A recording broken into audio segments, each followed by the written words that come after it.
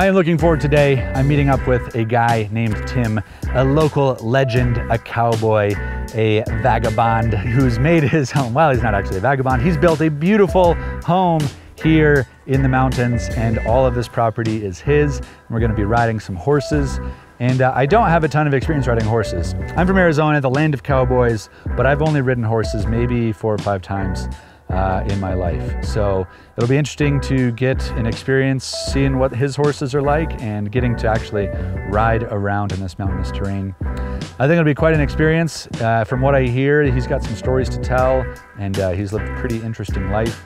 So I think it'll be a pretty interesting day here in Colorado. well, I've been out here. I came out here in uh, 1979 from New Hampshire. That picture with her, Jeremiah Johnson, Yeah. was a favorite movie of mine. I saw it in 1973 with my dad, and then uh, a week later, my family was watching an air show. I wasn't with them, and a car flew off the highway and killed everybody. And I was the only one left, and I'm 13 years old. And so I saw that movie, and I said, "That's what I'm going to do with my life." But that's how kind of how it all started for me. You know, it's Yeah. like I just just like, what are you gonna do now? You know. So- That's wild. yeah, it was pretty pretty crazy. Yeah. But uh, here we sit. And how long have you been out here now? Uh, 40 years? 41 years? Came out here 79? No, 40 years. This is 40 years. Yeah. I figure I've probably got about 65,000 miles in the saddle so far. Seriously? yeah. Wow. Yeah. I do that's really a lot of time in the saddle. All at three miles an hour, you know, life at three miles an hour. That's my motto. But uh, yeah, it's, you know, That's a lot of hours. yeah, a lot of time at just cruising, you know. I've solved every world problem there is. I wouldn't have done it that way. but no, it's, it's a real honor. I mean, everything's quiet, you know, when Yeah. you're cruising through the park. I mean, this park has great trails, number one. You got a great string of mules, and you're just cruising, and it's quiet, and you just don't have to talk to anybody except for, please step out of the way. My horses are right in this meadow, Okay, so on Mondays I bring four people from my house. I meet them down here. I bring them over here. We catch the horses, and then we ride up Grizzly Gulch. We go through the homesteads. We ride to my house. Yeah. And then Tuesday, Wednesday, Thursdays, I do a ride around Pearson Mountain down to this homesteads and come back up. And then Fridays, I ride them back down to the ranch. And so I never truck and trailer. I get paid to move my horses. Wow. That's fantastic. Hello. Solid business. Hello, sharp as a marble. but uh, it, it- I mean, actually, I think TripAdvisor ranks me number one in, in Estes for the horseback riding such Yeah. things so far. But um, So you're the guy. You're the guy to come to. By good, well, yes. Well, for horses anyway. Right on. Women not so good. I can relate. Yeah, damn it. so, all right, we'll shut this down. We'll head on out. We'll grab the boys. Sounds good. dude. That's Hank. That's Frankie Frank. The man, the myth, the legend, Stanley. JD will just follow. All right. I'll follow too. So to get him the grain, Is there a particular breed of horse that does better? nah, worse quarter horses here? are the best really for out, out here. Quarter horse? But I have thoroughbreds, I've had mules, I've had a bunch of different kinds. One, two.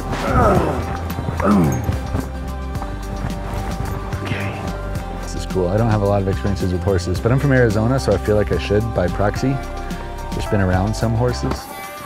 But uh, yeah, this will be about the first time I've done some real cowboying in a long time. We're gonna be hanging out today. You good with that, buddy?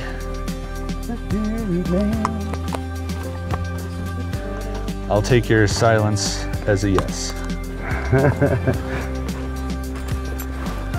so JD, you say is uh, Super gentle. He's the oldest horse I got. He's 19. okay. He's been there, done that. I've had him. I don't know how many years I've had him. A long time. yeah. But he's just, he's the go-to guy. So he probably won't buck me off. Well, you try. the goal here is is to try to be as light as light as a feather if you can, and get the job done. You know, um, look at him. Look at his eyes. You know, he's all quiet. He's all mellow. You want to get things done together. You know, equitation is a really fascinating sport because you have an animal mind and a human mind trying to get the same job done. Maximum response with minimum pressure is always your goal. You know, I have one horse named Brody, he's just huge. He's like 1,400 pounds. I can just touch him on one side, he's, he moves off it. I mean, if you can move 1,400 pounds with your finger, that's amazing. And that's basically what we're doing, you know? So if you want to go forward, you feel like you want to go forward. Like, I want to go forward. So I, I lean forward, I, I, bump with both legs, and he goes forward. Good, easy, ho. Want to go to the right, I help with my right leg, bring him around. Good.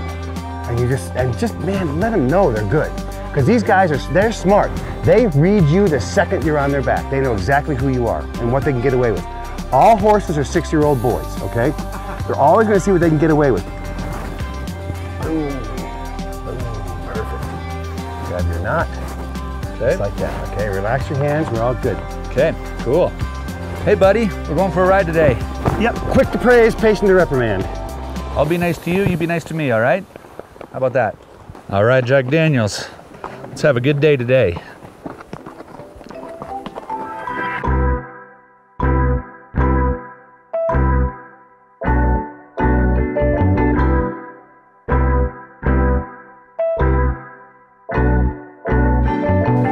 Starting to get the hang of this. Not so bad, huh? Yeah, it's feeling good.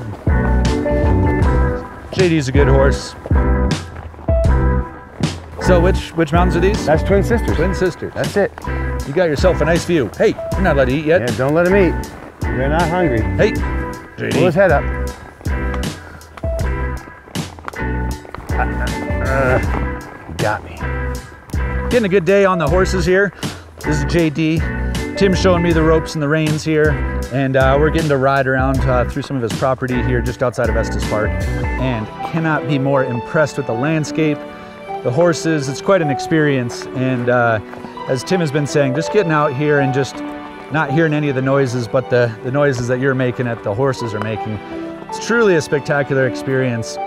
And uh, I'm not very experienced with horses in general, but uh, Tim's showing me really how to ride and uh, how to work with JD here. And uh, couldn't be asking for a better day. It's a spectacular day in the mountains.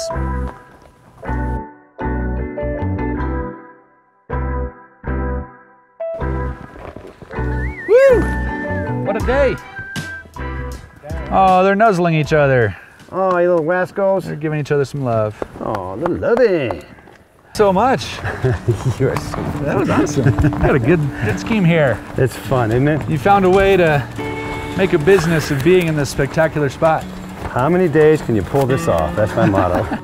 well, just wrapped up riding horses with Tim here on his property set just on the doorstep of Rocky Mountain National Park is just over those two peaks right there. So it's just been a spectacular day. Uh, getting to hear some stories, hear some cowboy tales, and uh, ride some beautiful horses through beautiful terrain. Couldn't ask for a better day, and uh, I think coming up later we might have some elk burgers and some whiskey. Uh, so we're living it up here in the Colorado way of life. what are we gonna do tonight? Oh man, more fun. We're gonna go that way. Gonna take you over to Overlook. You can see flights at Denver. Oh yeah?